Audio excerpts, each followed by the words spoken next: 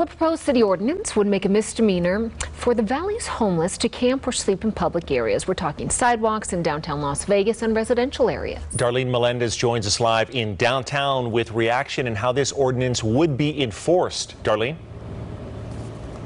Well, Brian and Kirsten, a mix of reactions on Yeah. this, but bottom line, people that we spoke with, they want uh, they want the city to prevent homelessness in, in general. And if this ordinance is approved, it would only be enforced sometimes. Special? Derek Stonebarger is the owner of Rebar, a bar in Las Vegas's arts district that extends onto the sidewalk. Stonebarger says that wasn't an easy process. So I know that the city of Las Vegas basically own and control the sidewalks. His bar falls into the area the city of Las Vegas is proposing an ordinance that would make it a misdemeanor for members of the valley's homeless population to camp or sleep. We've got a great thing happening down here. The city spent millions of dollars on the Main Street one-way couplet, and then on top of that, we're seeing a, a- an increase in homeless population. So eh, I understand maybe where they're coming from with wanting to control their beautiful sidewalks that they just created, uh, but it, it's it's a it's a tough decision. And ordinances like this take, uh, take more care for our business interests than our families.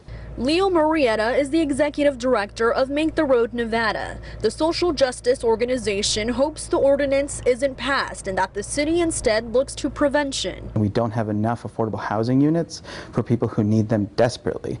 The backlog for affordable housing is far too long and it's out of reach for too many people. We should be thinking about how can we do better rather than criminalizing people for having nowhere else to go.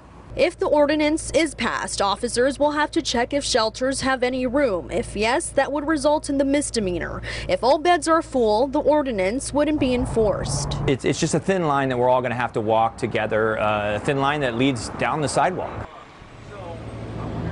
And again, this is a proposed ordinance. It will be introduced at next week's city council meeting, and then it'll be open open for public discussion on October 14th. Reporting live from downtown Las Vegas, Darlene Melendez, 8 News Now.